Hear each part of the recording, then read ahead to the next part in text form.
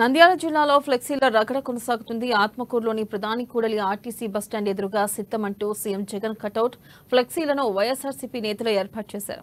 అయితే జగన్మోహన్ రెడ్డి ఫ్లెక్సీలకు దీటుగా వాటి పక్కనే సంసిద్ధం అంటూ శ్రీశైలం నియోజకవర్గం టీడీపీ మాజీ ఎమ్మెల్యే బుడ్డా రాజశేఖర్ రెడ్డి ఫోటోలతో టీడీపీ శ్రేణులు కూడా ఫ్లెక్సీలను ఏర్పాటు చేశారు. దీంతో ఎలాంటి ఘటనలు జరగకుండా పోలీసులు ముందస్తుగా మోహరించారు.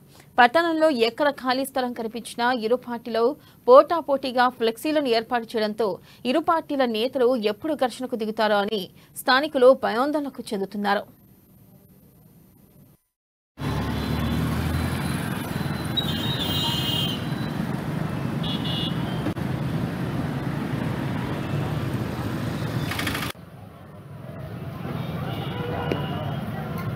Ha ha ha!